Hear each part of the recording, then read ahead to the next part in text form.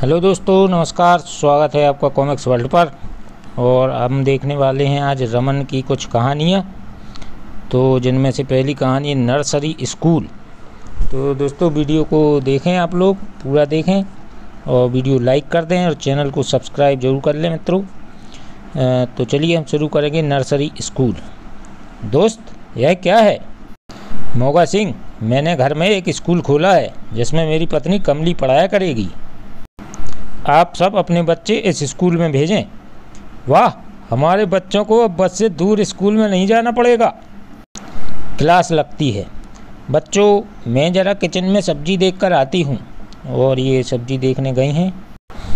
लड़ाई झगड़ा बंद करो। तुमने मेरे टीटू का कान खींचा। निर्दय टीचर, मारो, उसे सबक सिखाओ। स्कूल बंद हो गया। तो ये तो नहीं था। चलिए अगली कहानी देखें। कमली हमें पार्टी में जाना है। क्यों नहीं तुम रूमाल साड़ी से मैच करता हुआ लेती? नया खरीदना होगा। उस दुकान में रूमाल मिलते हैं।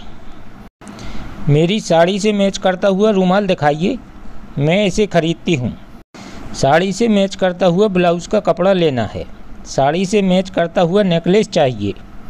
साड़ी से मैच करती हुई lipstick, powder, bindi, nail polish वगैरह दिखाइए। कपड़ों से मैच करते हुए सैंडल लेने हैं। आओ चलें। बीस हज़ार रुपये खर्च हो गए।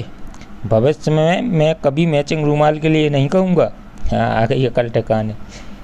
तो दोस्तों, अगली कहानी है मकान मालिक। झकू, तुम और तुम्हारी गर्लफ्रेंड कितनी देर यहाँ रहोगे?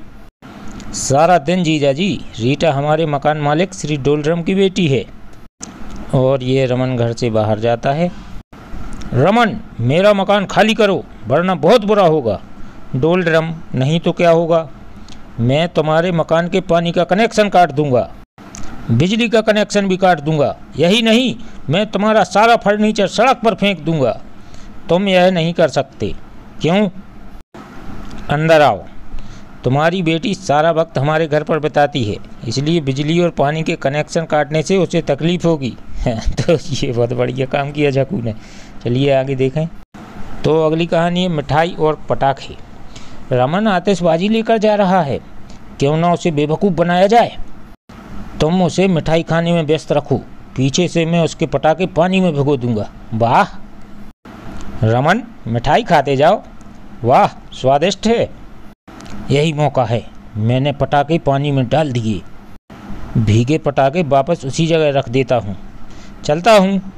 पटाखे हमें भी चलाकर दिखाओ। क्यों नहीं? देखो।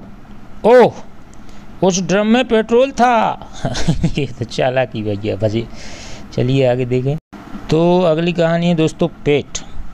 कमली का पेट बढ़ा हुआ है, वह गर्भवती है। यह बात हमें पड़ोसनों को बतानी चाहिए। हाँ। गायत्री कौशल्या, कमली के बच्चा होने वाला है। आपके दोस्त रमन के घर नया बच्चा आने वाला है। सुनदेव जी, रमन फिर से पीओ बनने वाला है। ओनू बधाई देनी चाहिए है और ये सब जा रहे हैं। मुबारक किस बात की? तू फिर से पीओ बनने वाला है। कमली से पूछता हूँ। और ये रमन अंदर जाता है, पूछता है। मैंने बाज़ार से बारह मैगजीन्स खरीदी और उन्हें साड़ी में छुपा कर लाई ताकि पड़ोस ने मांग न लें। अरे, बहुत बड़ी है भैया। चलिए आगे देख रहे तो अगली कहानी दोस्तों, जीजा। कमली, क्या पका रही हो? मटर पुलाव और पेस्ट्री भी बनाई है।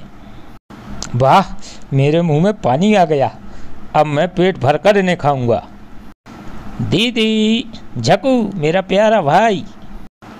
आप चकू को किसी होटल में खिलाने पिलाने ले जाओ। उसके साथ मुझे भी खाना पड़ेगा। मेरा पेट खराब है। जीजा जी, मुझे आपके साथ हमदर्दी है।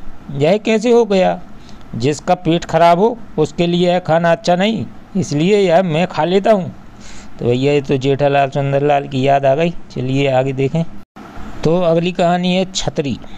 ओह, बरसात आ गई। याद आया, पिछले साल मोगा सिंह छतरी मांग कर ले गया था। वह उसने अभी तक लौटाई नहीं। मैं जाकर अभी उससे लाता हूँ। तुम्हारी छतरी? वह चिंतामणि मुझसे मांग कर ले गया था। चिंतामणि के घर जाता हूँ।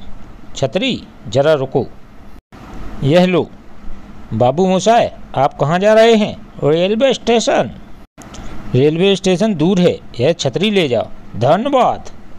छतरी कहाँ है? बाबू मोसा स्टेशन जा रहे थे, छतरी उनको दे दी। बॉय अपनी पत्नी के पास कलकत्ता गया है और छः महीने बाद लौटेगा। तब तक बरसात ख़त्म हो जाएगी। चलिए आगे देखें। तो अगली कहानी है दोस्तों, इलाज। आ रमन, क्या हुआ? जुकाम हो गया है। यार एस्प्रिन की गोली खा लो, जुकाम ठीक हो जाएगा। और रमन ने वो गोली खा ली। इसके लिए होम्योपैथी से बढ़कर कोई दवाई नहीं, यह गोलियाँ खाओ। और रमन ने वो भी खा ली। आयुर्वेद में इसका रामबाण इलाज है, इसे पी लो। और रमन ने वो भी पी लिया। यूनानी दवा सबसे बढ़िया है, इसे आजमा कर देखो। और रमन ने वो भी आजमाई। वह बेहोश हो गया। उसने ज़रूरत से ज़्यादा दवाइयाँ खा ली। तो चलिए दोस्तों, आगे देखते हैं। तो अगली कहानी मित्रों, कविता। पापा जी, इस कविता का अर्थ समझाइए। बोलो बेटा, एक, दो, तीन, चार, पाँच छः और सात और पाँच मिलकर बने बारह है। यह कोई कविता है? मेरे दोस्त वैद्य जी शायद इसका अर्थ समझा सकें। मेरे ख्याल से कभी साल के बारह महीनों की तरफ़ इशारा करता है। रघु अंकल, आपकी समझ में क्या आया?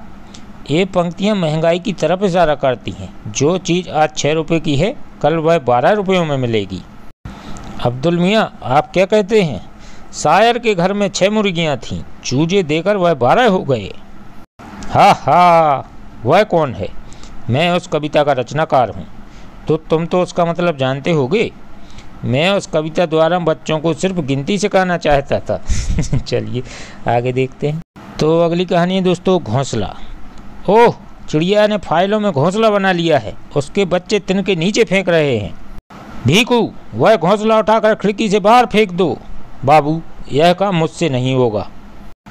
रमन, घोंसला फेंकने से छोटे बच्चे मर जाएँगे। तुम्हें पाप लगेगा। ओह, फ़ाइल पर उसने बीट गिरा दी। मैं खुद ही वह घोंसला तोड़ दूँगा।